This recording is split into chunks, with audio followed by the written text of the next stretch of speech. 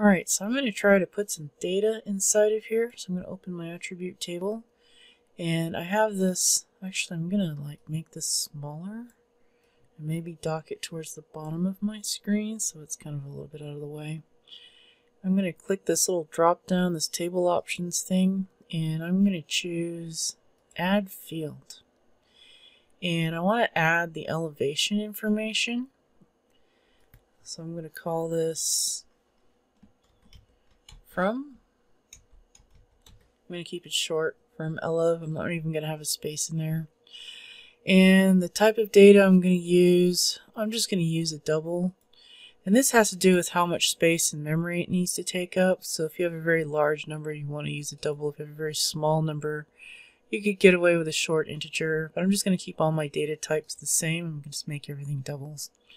I'll go ahead and click OK to this. And notice now that all of these are blank and I can populate this with information, but before I can do that, I actually need to go into another editing session. So I'll just right click on nodes again, go to edit feature, start editing, and as soon as I do this, the information in this field can be changed. So I'm going to put in the from elevation, which is 1024.90. And let's just pretend for now that, well, I'm putting it in the wrong one too. So I actually want to put it in node 15. So I'll just leave it as this, and let's pretend that I'm done with that one, and I'll hit save. So that was for this one here, this node 15. So notice it has a from elevation. Let's say that I want to add a to elevation, so I'll go ahead and add another feature. Did I stop editing? There we go. Did it finish? Yep, finish stopped editing. So you can't add another field until you're out of an editing session. That's an important thing to remember. So I'll add field and I'll do the same thing. I'll make this a double and this will be my to elevation and I'll go into another editing session. And I can add in the to elevation in here. And the to elevation is 1024 once I'm done I can hit stop editing save my edits.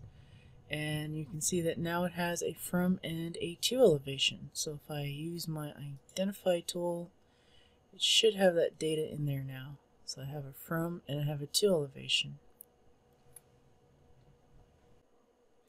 Let's just say for whatever reason we don't want this from column or this to column in here.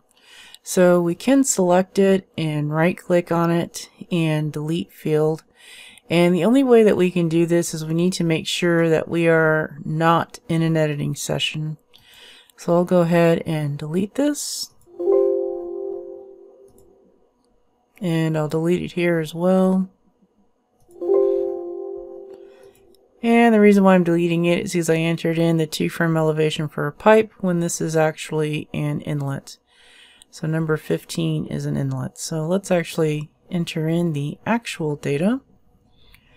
So I'm going to add another field and it's going to be a double and it's going to be the rim elevation. And while I'm at it, I'll just add another field in here.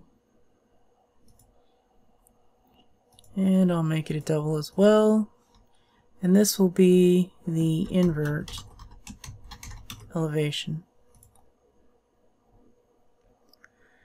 Now I'll go into another editing session.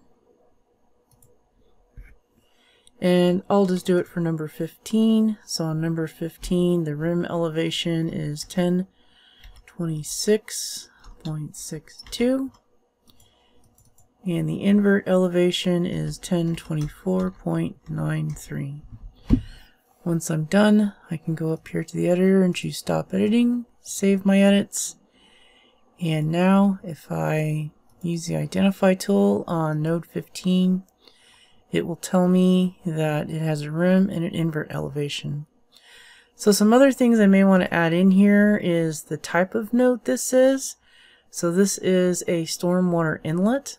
So let me go ahead and add another field. This time the data type is going to be text. And I'm just going to enter in type. And down here it says the max length that you can have is 50. So I'll need to start another editing session again.